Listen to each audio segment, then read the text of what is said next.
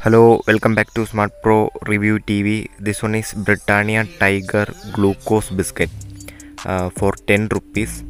Okay, uh, 124 gram is there for 10 rupees 124 gram okay let's uh, check and review uh, this tiger biscuit from britannia